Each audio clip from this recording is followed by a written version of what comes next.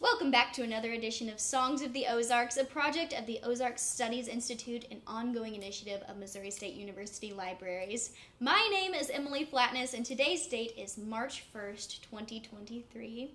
Our special guest today is Trent Prewitt, and we're meeting here in the Ozarks room at Missouri State University. I've heard about this, and Yeah, I, you know, just heard of it from different things. It was a cool place, so it's beautiful, isn't glad to be here. Um, so, if you wouldn't mind going ahead and playing a song for us, that would Yeah. be great. Let's do an old Glen Campbell number. This is one that I love. Of course, I love John Denver, Glen Campbell, Mm-hmm. and a lot of stuff that 22 year olds like us probably don't uh, know or understand. but this is one I love to do called Galveston. Ready? Yeah. Galveston, I still hear your sea waves blowing. I still see her dark eyes glowing. She was 21 when I left Galveston. Galveston, oh Galveston. I still hear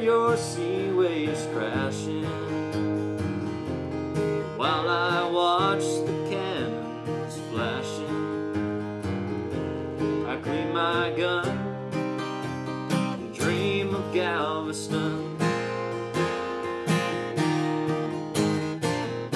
I still see her standing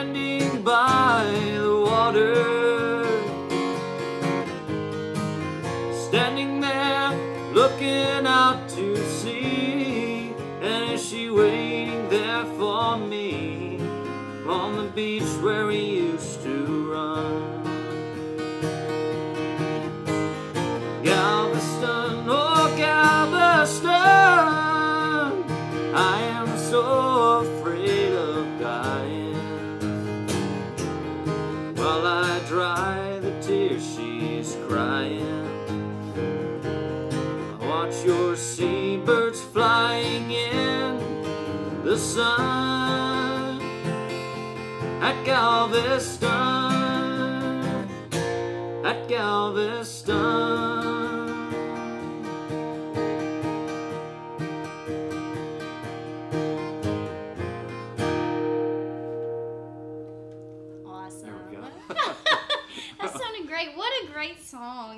Yeah. to start things off with.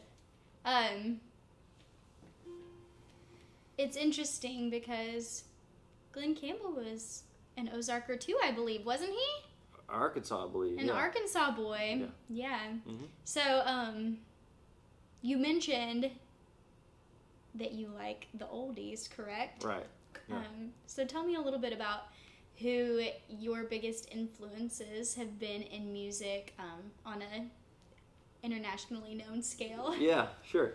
So uh, back in the truck when we go pick up tractor parts or something, Dad would always play one of two things. I heard "On the Road Again" and "Alabama" over and over and Oh over. I think it kind of just hammered in my brain at that point what that was because I knew bluegrass, and then just hearing the there he would play some live tracks too, so like you'd hear the crowd behind it and just the uh, atmosphere that would happen at these concerts, you know, especially when Willie Nelson was doing On the Road Again. And just over the year, they played Hee Haw, which I'm sure you were familiar with. That was always playing on the TV. And so it kind of sparked that. And then really a, a big influence was Buck Owens on Hee Haw and just how happy and alive he was when he was on this. You know, he's just always a good, like, confidence boost, I guess, just to watch this guy. But we were at Hammons Field, I remember. So kind of Ozarks, you know. Mm-hmm. And it was bluegrass night, and Tiger by the Tail came on the intercom, you know, just playing and stuff. I was like, I know that from somewhere. So I kind of went through this dip as a teenager, you know, video games and whatnot, and Right. that brought me back. It just kind of like shook me almost. I was like, I love that, and I missed that. I want to play that.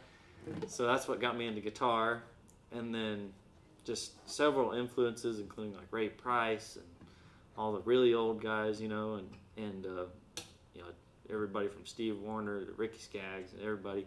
watching them on the Opry or watching them just performing videos. I remember this video of Ray Price when I had this like resurgence for the field to like chase after this music dream. Mm-hmm. It was a video of him singing uh, for the good times, and it was on one of those old TV shows like Hee Haw, and he just kind of stood there, and he was very still, but he had this like head sway movement that he would do, and it, but it, it's like he didn't dance around or anything, but he just sold the song. It just it did something for it, and I was like, that's what always inspired me watching how these guys can do the songs and you know John Denver how he can just sit there with him and his guitar for three hours and you don't get bored. Yeah. There's just something about the guys that they can sell it. Subtly good. entertaining, Yeah, like a flawless performance. So you grew up in the rural Ozarks, correct? yeah. So where did you grow up? I grew up in the Brighton area, so it's between Springfield and Bolivar, and always been there. Went to school in Pleasant Hope, which is kind of in that same you know a little bit uh, east of there, but so kind of always been around the back roads, the fields, the forests, and things, and and uh, so really, and Springfield is where we go for all our groceries and stuff. right. But and not like we were, you know, one of those really rural people, but it's like we, this was our close uh, city style thing. I like to say, you know, I'm kind of in between. You know, it's like I, Yeah. I'm a country boy at heart, but I don't mind driving around, cruising around in the city, and coming and playing shows. You know. Yeah, so, So- many people to interact with. Yeah. Um. So, did you have any family members that played music or anything? Oh no, no, no. My dad played banjo, and he got out of it for about ten years, and then when he got back into it, he talked me into guitar lessons. I did not want to do it, and I was super shy. And I'm sure you remember that when we started playing. I was very shy, and mu- music has blown my doors wide open. Oh yeah. But so he got back into banjo, and we decided to join your group, Poana, and that's really what started it all as far as music goes. That got me out in front of people playing, so I thank you so much for that. but that's where we kind of started. That was my first experience being on stage. yeah. Now there's pictures of me when I don't remember when I was about that tall playing on stage, but of course don't remember that. Right. But so that's what really inspired me. Dad played banjo, and then his dad, or my grandpa, played banjo, and his dad, so my great grandpa played banjo and fiddle, and so they always kind of grew up in that acoustic, old time music scene, the bluegrass, and So it goes far So- back. yeah, it does. And then so it, I kind of like tell people too. Dad was the bluegrass side. Then my mom's side, her dad, or my grandpa Jim, was in the bar scene and the country stuff. So he did you know Hank Williams Jr. stuff, just that classic, good old, old country. You know, play it in the bar with a Telecaster and the drums and bass. You know, and so I got kind of got both of the things and. Dad was probably a little disappointed when I swayed towards the countryside. You know? Right. no, no, he likes it, but So, how did, or I guess my question is, what do you prefer about country that is lacking in bluegrass? I think I like country because of the. It's not so. There's a certain amount of instruments you hear in that, and there's a certain Mhm. amount of instruments you hear in bluegrass. But I think another thing that kind of like, you know, bit me or got me in a way was the sound of a steel guitar and the sound of a solid country band like the Time Jumpers or you know, a good. They know what they're doing. They they can pull it off and really. Uh, project or make a song more than just noise, you know. Yeah. Um, so I think and a lot of it was steel because I started to learn steel. I think that was the thing that really drove me towards country because that's what it was primar- primarily in. But just the sound of it and how much it can rip your heartstrings out more than the words, you know. Yes. and just the sound of that, I think, is what got me. There's so much feeling in country music. Mhm. Um, not that there's not that in bluegrass and hmm old time music, but Yeah. It makes me wonder. It's like, how did steel players not just break down crying I when they're playing know. that thing? Like they must not have a heart. No, I'm just player. kidding. No, Paul Franklin's just a mindless steel. you would know. No, You're a steel player. I know, right? Tell me about how you started playing the steel. So it was kind of funny. So I'd always loved the sound of it and had no idea how it worked or what even it looked like, you know. And I do remember being a little kid and seeing the Porter Wagoner show on YouTube or something. Yes. And his steel player was standing up. And I thought, why doesn't he sit down? Or, or maybe he was sitting down. I was like, why don't you just play it standing up? Just one of my wondering things. And then I actually started researching what it was and thought, okay, that's a little expensive to get into that. But I was like, what's so I looked up, okay, what's a way to get into steel? And of course, lap steel, and, which is basically a, you know, a dobro but electric. you know, Yeah. and small. So I got me a six string one of those and played with that for a while and thought, okay, I need to bend strings. That's why you need a pedal steel. So I found a bender system. A guy in France makes a palm lever system that just bolts right to the top, you know, and you got your basic A and B pedal bends with that. So I just kind of started expanding and modifying this six string lap steel to make it sound like a pedal steel. So that got me through a little bit, but it was restricting in the way that you could only do that one bend. You can do a minor chord and very, very basic pedal stuff. So I did that, and I got an old piano stand that was somewhat broken. Got some rubber grips, taped those to the top, and had that be my stand. And I would sit down and play it like a pedal steel, and had the volume pedal and everything. Um, so I played that for a while, and then Deacon Mooney, another great Springfield uh, Ozarks musician, had one laying around, a full 10 string pedal steel Carter that he had. And I auditioned for their band one night with a lap steel. And uh, so he asked me, he's like, Do you have a 10 string? I was like, No, I really want one. He's like, Well, take this thing home for a while. And he had it with him. He's like, If, you know, play it with us, you know, and you can just keep it. He's like, I don't use it. And, you know, I, I he's like, I know how to play it, but he's like, I, I'm more of the singing part in this band. I was like, Sure. So I took it home and I thank him so much to this day for letting me do that because that just I, I bet for a solid month I did not go home and not play that thing That's or fantastic. try to do it, you know. And um, so, furthermore, into the Ozark heritage, I looked around for one, and there's like five different manufacturers that are still doing it, you know, because it's a small but mighty market for it. Mhm.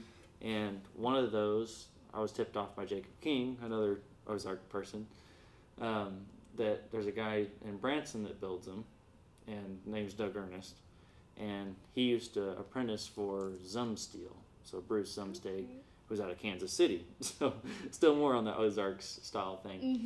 Mhm. Um, so Doug's still building. He bit. It's a small one-man shop, about a hundred a year he can do.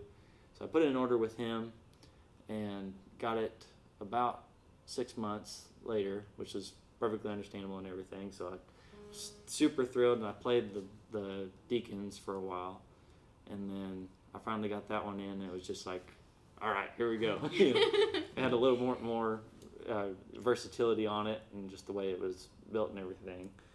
So expanded even more with more stuff to play, more Awesome. more pedals to move, more levers to move, and, and that furthermore helped my understanding of how it works, you know, how to really Yeah. play it. And And I mean, whenever you go that dive that deep into something, um, did it help your understanding of the genre in general? It did kind of. So Really? I, I kind of you know bought into the the Paul Franklin method and some of those learning things that are just kind of like the the Hal Leonard or the the Mel Bay. This is the learning material that's out there that's good, you know, and that really yeah, as complicated as it sounds, once you wrap your head around it, it you kind of understand, especially country, but the, how to how the feeling of it goes and how to do those Yeah. bends and how that emphasizes this or how to use this to do this. And so it really just sparks your musical mind and think it's Mm. like just learning a guitar or a fiddle or a banjo and you find that new lick or that new spot and you're like, oh, versus that really, yeah, you, there's so much capability. It's almost endless because you can bend almost anything on it. You can change, you know, you know the pitch of several strings to really bend and do jazzy voicings and Oh yeah.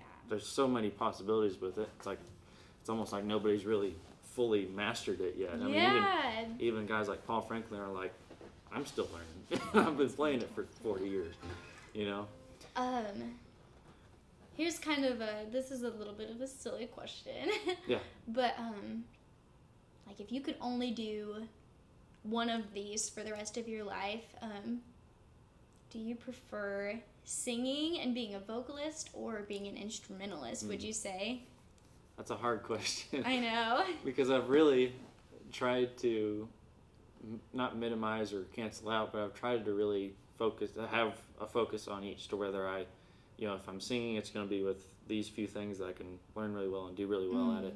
Same for the steel, I can have these certain set of bands or, or groups or recordings that I do, and that can be that niche and this can be that niche. But if I had to choose one, my, my dream is to be the you know the singer and stuff because I love just the the theory behind what like John Denver would say. He was like, I love to just see how music affects people. You know, good, bad, sad, mm-hmm. whatever. He's like, it can have such a grasp on somebody.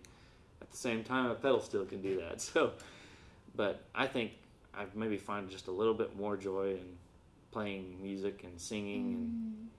Mm, having fun doing it and seeing somebody else smile while hearing it. So that's yeah, I don't know. It's a hard choice, but if I had to choose one, probably singing. But Yeah.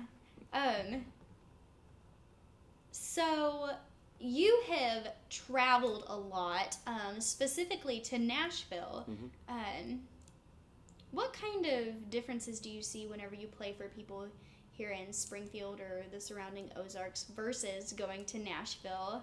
yeah, I'd say both places people are probably not burnt out, but used to hearing you know the same old songs and stuff or the same stuff. They're used to seeing live music. There's, there's a great scene here, and there's a great scene, of course, in Nashville. But I think it's weird because I've done somewhat live gigs in both. I've just like sang five songs on somebody's set, you know, Mhm. out there, and something about being there and being in that spot. Not like I felt like I had to, but I felt more fire when I was up there to be able to move around, dance around, and just have more fun with it. Not that you can't hear, but it's like it's a different feeling all around when you're in that place where that's what built that town, you know, and stuff. So I, I, I feel like I'm more inspired to really do or perform a little better or more there. Mhm. Um, it's just an extra feel that this is Nashville, you know, and, and not that you shouldn't give a, a good show to people here, but it's a, it's a different crowd, you know, yeah, it's a little for bit sure. Yeah. It's like it. It that's what that town was made for. Is that Yeah. kind of what you're? I think so, yeah. And, and I'm not saying there's not good stuff here either, but yeah, it's like something about just the pure feeling of being out there and being able to sing for people out there who could be record producers, that could be just average Joe off the street that's coming in for a drink and listen to my live music. Um, but just something about it out there was just like a whole nother level where it's just like, all right, this is cool, you know? yeah. yeah. Um. So whenever you play around here in the Ozarks, what are your favorite kind of venues to play at? Favorite venues? I, I don't mind the bars. Yeah. if they have a pretty big stage. You know, a lot of them are really small stages, and, and I get that. You know, that's what they they had to build, but and stuff. So it's better when you have a, a little bit of space, good sound and stuff, which all of them pretty much have. You know, it's there's no horrible place to play. I would say they're all great, but Definitely. it's like I definitely like it when there's a little more space. You know, Yes. you can you can really have room to dance around or perform. You know, be a little bit more um, outgoing with your performance. Versus sometimes on a small stage you're a little cramped. and Yeah. You can't really do much.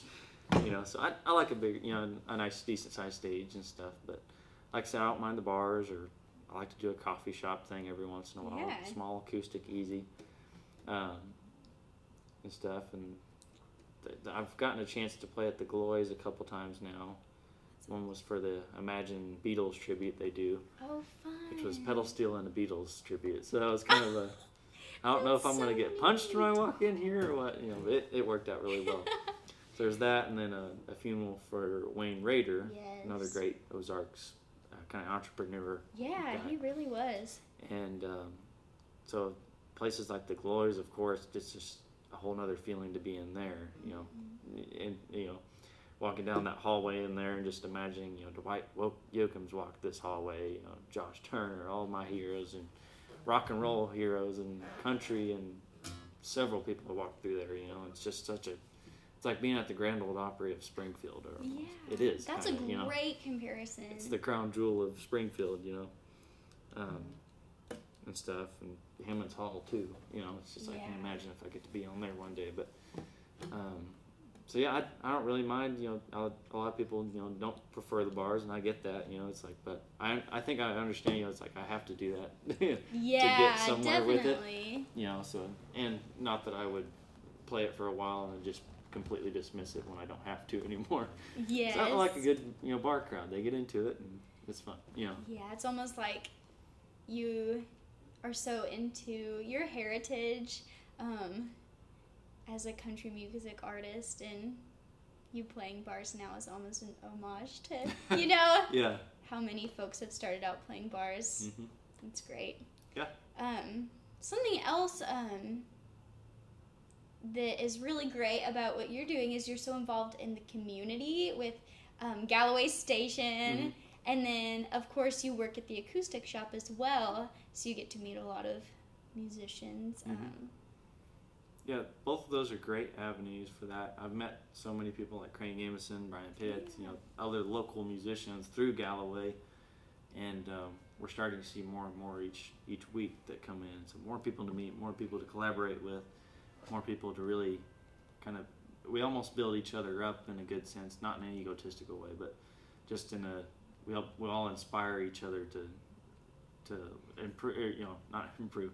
That's a bad way to say that, but like just help each other. We inspire each other to furthermore expand our our talents as far as you know how how good we sing, how good we play, what we play, and stuff. And and it's not like we tell each other you have to do this or you have to do that, but we we both we all build each other up in a good way to really help us all improve and, and get better each day. So it's awesome. Yeah. Um, well, I think that's all the questions I have. Um, do you have anything else that you think would be good to talk about? I'd say we're uh, on the, along the influences. Yeah. we got to see Alan Jackson when he was last year on his farewell tour here at JQH. And there's always something about Alan when you watch him, you just think, I want to be like that one day. You know, he's a good Christian guy, you know, and just always, he's one of those that stuck with his faith, but, you know, he, he's done the bar stuff, you know, and, and I really admire that and just feel so inspired to watch him. And I'm, I find that I, not mimic, but I, I'm very much like him as far as a stage presence goes. You know, That's awesome. he, you know, he's chilled out, but he can dance around and you know, be be cool, goofy with it. Yeah. But he's probably one of the bigger ones that's just like time and time again. It's just like re-inspiring just to watch him. You know, whether it's a gospel number or Chattahoochee, you know. Right. He is so versatile in that way. Yeah. So he's one of my biggest influences, probably. Um, I know you play a lot of like different. There's so many different like subgenres in country music. Like John Denver, Denver is a different subgenre than Glen Campbell or Alan Jackson. Which one would you identify with the most? I guess is my question. Yeah. Um, I'd say I probably identify more so with that in between line. I'd say kind of like the John Denver, but not so much on the folk side. I'm kind of in between that. I, Oh yeah. I love the the whole theory behind John and Michael Martin Murphey, that realm of stuff where it's they really bring out a really detailed picture in their songs. So it's like I love that. I love the storytelling to it.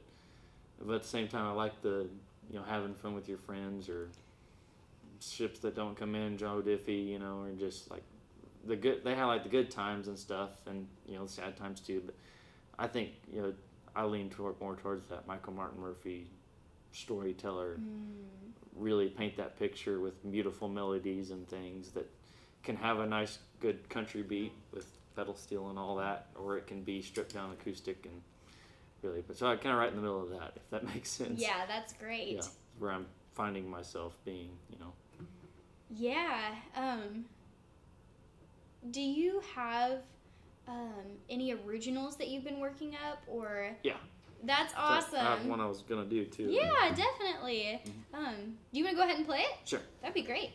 I'll have to pull it up here this was a tribute to John Denver Oh, that's awesome. And this is one of those that kind of came about. Craig knows the story, but Christmas Eve, I got back up to my uh, trailer house. So I live on the same property with dad and mom. And I just rent the trailer house at the top. And I got back there and just had this. I got out my 12 string acoustic, and I remember sitting there and I was goofing around up here, and I hit this. Oh, well, without the cable on. That wouldn't sound right.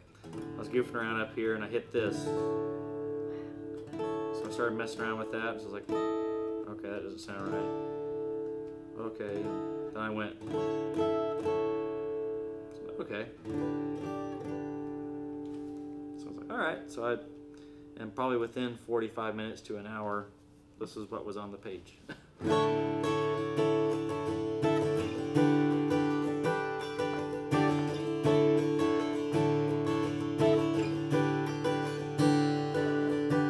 Way out past the roaring plains and the windy farms, a long way from LA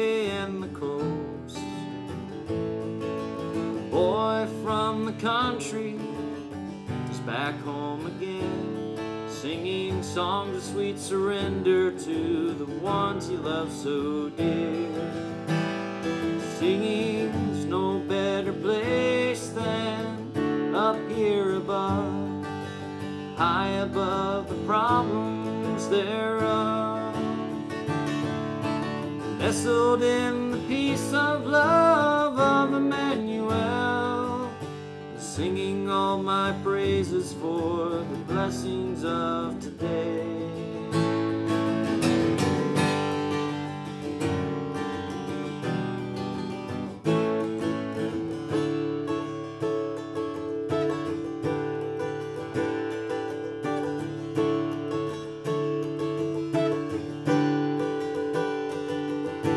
Love to hear the beautiful words he'd sing so sweet. Poems, prayers, and promises of Mother Nature's son, singing of his sweet lady. Then any song, the rhymes and the reasons for the sorrow and the joy. Singing's no better place than up here above, high above the problems thereof.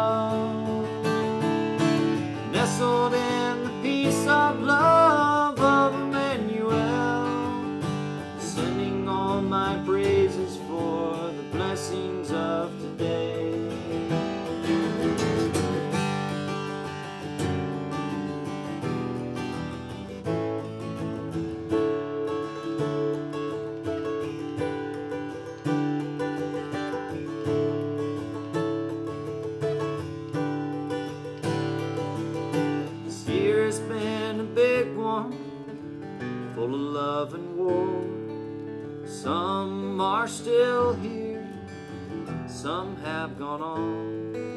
I'll never forget the blues man or the banjo man. All of the lessons sent down from heaven above.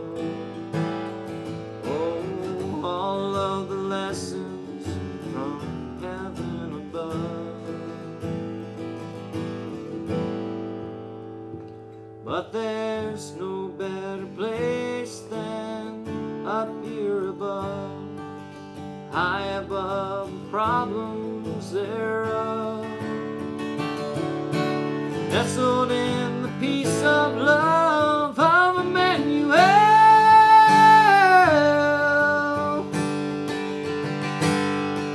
Sending all my praises for the blessings of today. Oh, I'm sending all my praises for the blessings of today.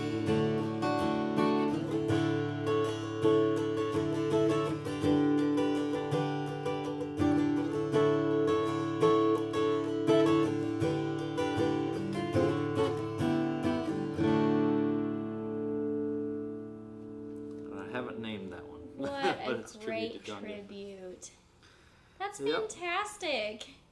Um your music I mean you can just see through all of it your appreciation for everyone who's come before you. So Oh, yeah. that's Fantastic. Um, I always tell people it's like I was born in the wrong generation. I, Yes. I want to be. I was talking with grandma, and she's telling me how they went and saw Johnny Cash and Mel Tillis and all this stuff. It's like, oh, I just want to time warp back to then just watch the concert. That's doesn't it. it just know? make you so jealous? yeah, right. um, Yeah. well, do you have one more you'd want to play for us? Yeah, We can can maybe do. end it on that. Let's do another original. Yeah, that sounds great. And give me a second to pull it up here. And This then is- you have an album coming out. Is that correct? Yeah, there's a six-song EP. It'll probably be late summer before the whole thing is out. Oh, that's awesome. We're gonna do a soft release. Actually, I'll do that one. Let's do that. But this is one by Corey Lee Barker. He's a writer out in Nashville. Does a lot Okay. of for the Hallmark movies and things of that nature. This is one from his catalog, but uh, this is uh, one I thought really described me as a person. and so we're gonna release this as a single, hopefully in the next month or so. Hoping. Cool. and uh, we're gonna do a soft release on this, and then the six-song EP, which will be the debut EP, will be out there. So we'll see what we can do with it. This is one from his catalog called Redneck Royalty.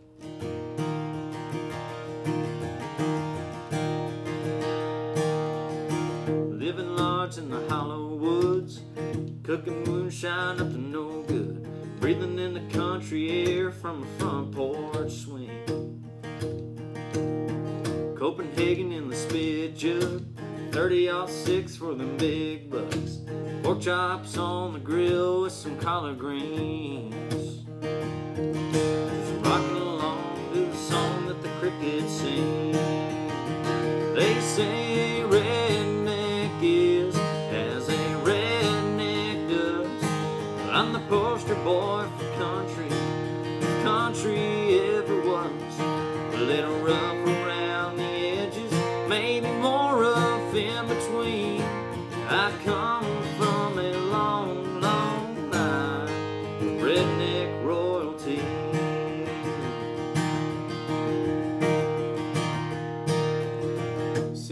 Just don't impress me. City folk know they don't get me. They're too lost in Starbucks, Guccieville. I'm a four wheeler on a mud track with my mullet picking out a John Deere cap. Natty light all night party in a cotton field.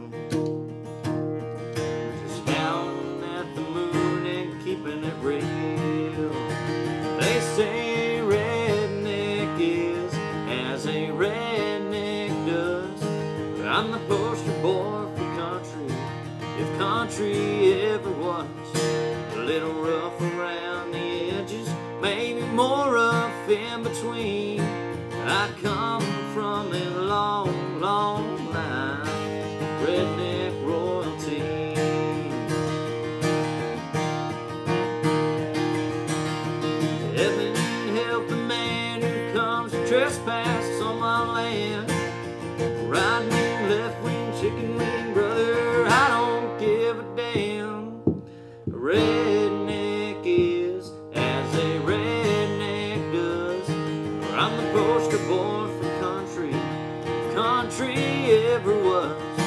A little rough around the edges, maybe more rough in between. I come from a long, long line. I'm the first name on the shrine of redneck royalty.